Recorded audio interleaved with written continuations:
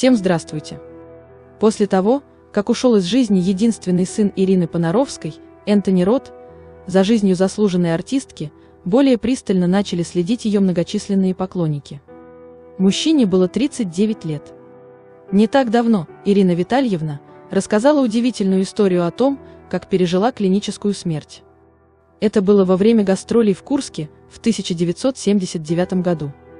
По словам знаменитости, в тот момент она видела себя со стороны. Все случилось, когда Понаровской было 26 лет, и она потеряла сознание от болевого шока из-за камней в почках. Я чувствую, что мне становится плохо, допиваю песню и ухожу за кулисы. И все. И дальше я только вижу, что лежу, а потом вижу, как меня несут. А потом лечу, вылетаю на свет, и такая красота бесконечная. Такое ощущение, что все золотом залито, но источника света нет. Мне было очень легко. Я была такая, как будто я мыльный пузырь. И прозрачная. Легкость, ощущение легкости, вспоминает исполнительница. Она отметила, что в пяти минутах от цирка, где проходил концерт, находилась больница.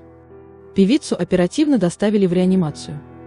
Спустя некоторое время врачи рассказали Ирине Витальевне, что когда ее сердце начало биться вновь, она произнесла слово «зачем». «Я не знаю, что это значит, я этого не помню», призналась звезда.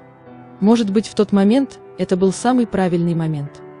Потому что случись со мной в моем возрасте, вот сейчас, то, что случилось со мной тогда, я не знаю, осталась ли бы я жива.